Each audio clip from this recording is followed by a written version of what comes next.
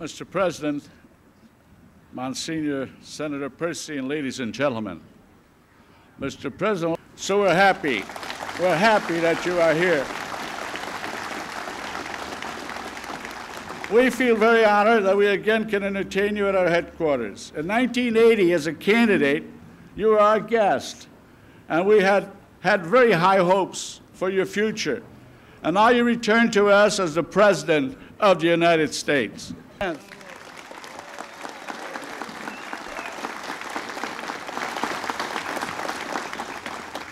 have supported where necessary. We also wish to inform you we support your position in Central America and communists. The government may be, but certainly the heart and soul of Poland will never be communistic.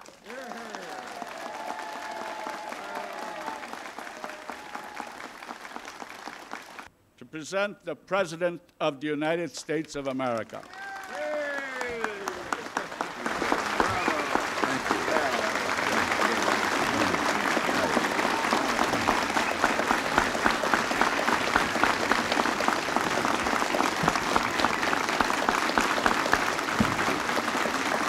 Thank you very much. Thank you. And thank you. Thank you all very much.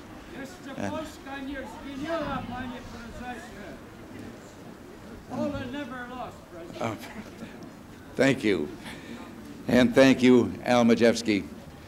As a matter of fact, I would have rather just stood there and listened to you some more than come up here and talk. Father Pajak, Senator Percy, and I know your Secretary of State is here, Jim Edgar, you ladies and gentlemen, the distinguished guests who are here. Our country is composed of many cultures, races, and ethnic groups. But there's one thing we all have in common, something that ties us together as one people and is at the very heart of our national character, and that is a fervent love of liberty. I found that I can't lean on this on account of if I do, it sinks. so I'll stop leaning. He, it's this heartfelt conviction that today bind, finds us not just Polish Americans, but all Americans.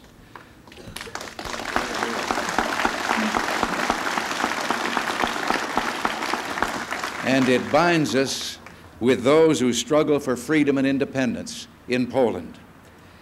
Let no one mistake our fortitude. Time may pass, but the American people will never, never forget the brave people of Poland and their courageous struggle.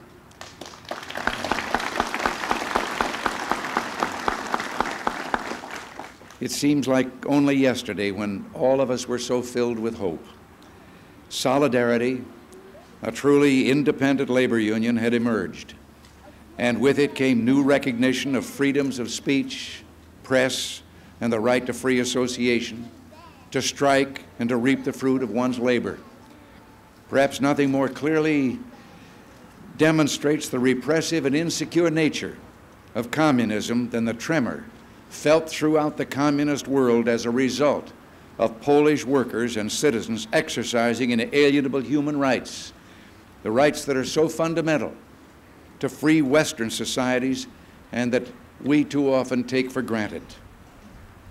Solidarity was born not only of the failure of the Polish government to meet the needs of its people, but also from a noble tradition of freedom preserved and nourished by the proud Polish people through two centuries of foreign and domestic tyranny, symbolizing the battle of real workers to sustain fundamental human and economic rights in a so called worker state. Solidarity sought to address and to resolve Poland's deep rooted economic ills. It acted in good faith and it pursued a path of constructive dialogue with the Polish government. Despite these peaceful efforts on the part of Solidarity, a brutal wave of repression descended on Poland on December 13, 1981. The imposition of martial law stripped away all vestiges of the newborn freedom. Polish authorities resorted, resorted to arbitrary arrests, imprisonment, and the use of force. The free flow of people, ideas, and information was suppressed. A darkened cloud descended on Poland. But not all has been darkness. Despite the unyielding repression for the last 13 or 18 months, the will of the Polish people has not yet been broken, and we've seen that on television over these last several days. And the papal visit to Poland, which ends today, is truly a ray of hope for the Polish people and an event of historic importance. During these eight short days,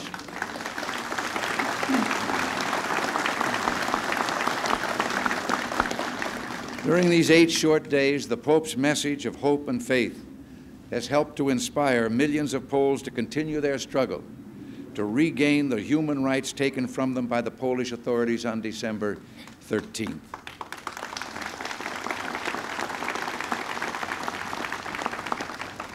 I was deeply moved, as I know you were, by the Pope's outspoken defense of the Polish people's human rights, his frequent statements of support for the interned, the imprisoned, and those dismissed from work for their political activities were poignant reminders to the Jaruzelski regime and the Soviets that they cannot hope to permanently erase the historic August Accords. Freedom loving people everywhere support His Holiness' call for social renewal, social justice, and reaffirmation of national sovereignty. I've long felt that many if not all, of the problems faced by the Polish people could be resolved if Warsaw's neighbors would permit that beleaguered nation to work them out undisturbed. You,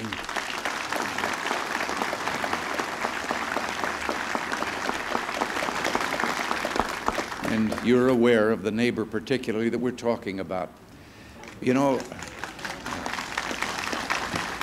I've developed a new hobby. It is one of finding and then verifying from some of the dissidents who are here in our country who have escaped the jokes that the Russian people are telling among themselves, which shows their cynicism about their own government. And one of the recent ones is that they were saying that if the Soviet Union let another political party come into existence, they would still be a one party state because everybody joined the other party.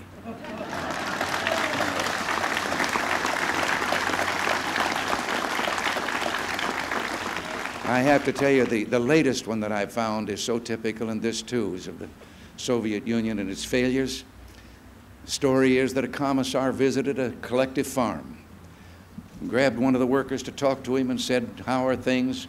Here. Oh, he said, everything is just wonderful. He said, there are no complaints. Haven't heard a single complaint. Well, he said, how are the crops? Oh, he said, the crops never better. Everything just fine. What about potatoes? He said, potatoes.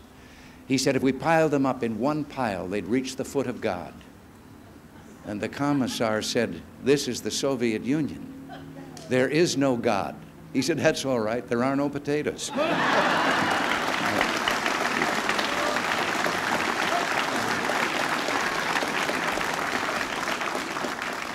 But seriously, the need for dialogue and reconciliation in Poland has never been more evident than it was during the Pope's visit.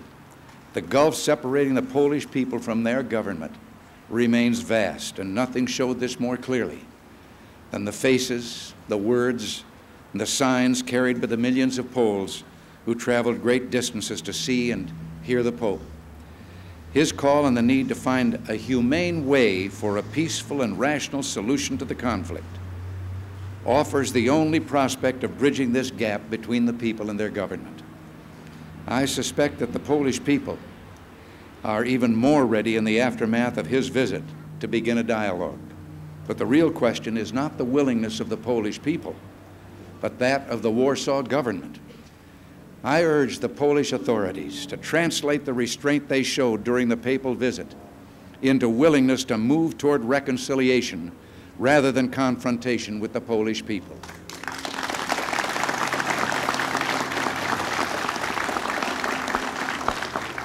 I was also impressed by the Pope's words on the importance of free trade unions and his quote of Cardinal Wyszynski's, the comment that there is an innate right to form free associations and that the state's only role is to protect it, to protect that right. The, the actions of the millions of Poles who attended the masses around the country, inspiring the spirit which gave rise to solidarity, still flourishes in Polish hearts. There is only one way for the Polish government to gain the confidence and trust of its own people, and that is to end martial law, to release political prisoners,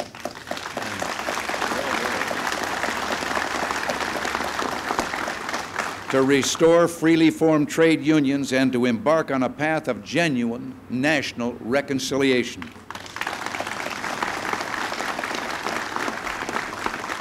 We, we are currently consulting with our allies on the Polish question.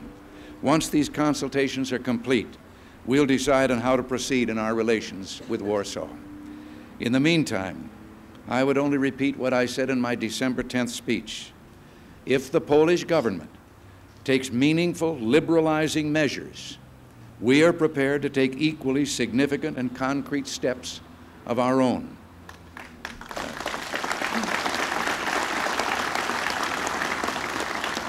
Moreover, the United States will continue to provide humanitarian assistance to the Polish people. I know the great sacrifices which so many of you and the Polish American community have been making to send assistance in the form of food and medical supplies. We too have participated in this humanitarian effort with more than $40 million worth of aid distributed through CRS and CARE. As I've said before, if the Polish government will honor the commitments it has made to basic human rights, we in America will gladly do our share to help the shattered Polish economy just as we help the countries of Europe after both world wars.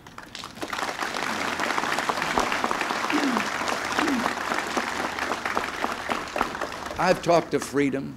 We've talked of freedom many times. Many of you have seen firsthand there in visits to relatives, or in being there before you came here, what is going on. But many, to many of us, freedom becomes a word, and particularly to our young people, they hear it so often, and they don't have an opportunity to really know what is so important about that word.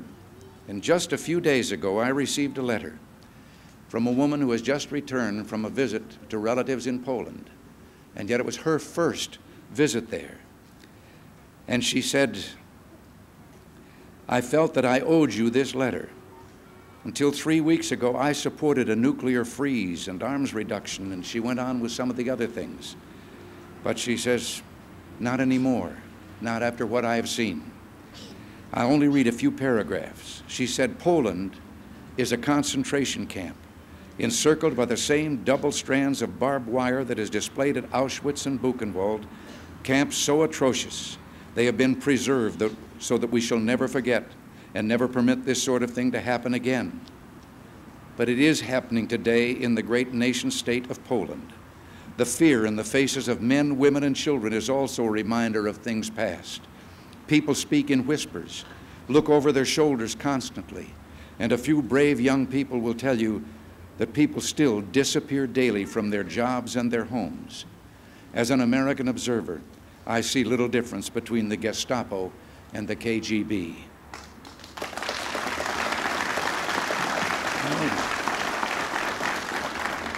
She goes on eloquently about other things there that she's seen and the differences. She says, I too support human rights. I was in Warsaw and Krakow, and I was asked by the people there if people in America understood what was happening in Poland under Russian domination. I said no. No, because we don't know fear, oppression, religious censorship. We have never known the hopelessness that comes from living under a dictatorship. If there could only be one protest march in Poland today, Mr. President, it would not be for arms reduction or jobs or food or even clothing, but rather for the most prized and valued fundamental right of all, of every living soul in this universe, freedom.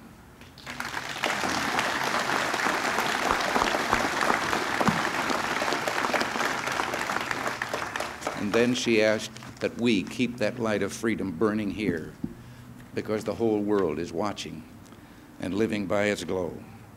The visit by John Paul II to his homeland was an inspiration to all who cherish freedom. It vividly showed that no one can crush the spirit of the Polish people.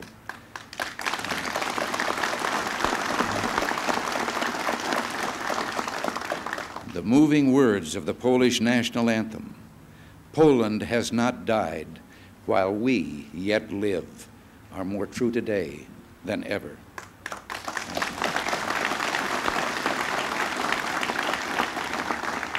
The spirit of solidarity that unites the Polish people with free people everywhere has never been stronger. I thank you for letting me be with you this brief time here today.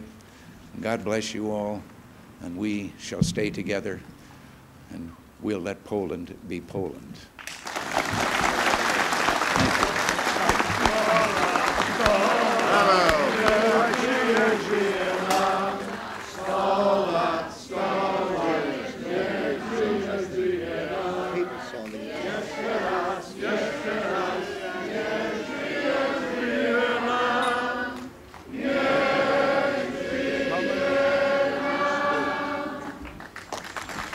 Mr. President, God bless you. And, and we are all we are all for you.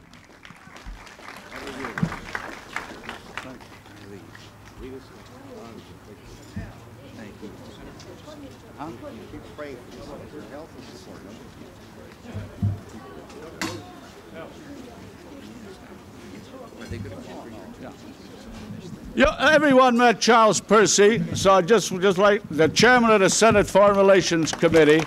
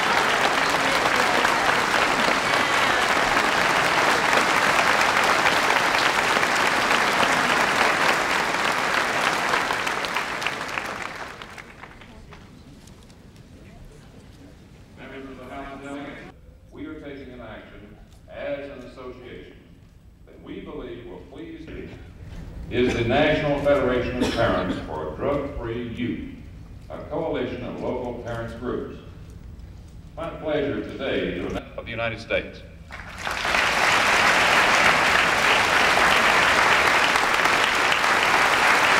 Thank you very much for inviting me today. And I know Nancy would want me to thank you for your donation to the National Federation of Parents for Drug-Free Youth. AMA House of Delegates, and I want to congratulate Dr. Jirka and Dr. Boyle on their new positions. I can't help but think that what a great place this would be and what a great moment to have a low back pain. We don't need a second opinion.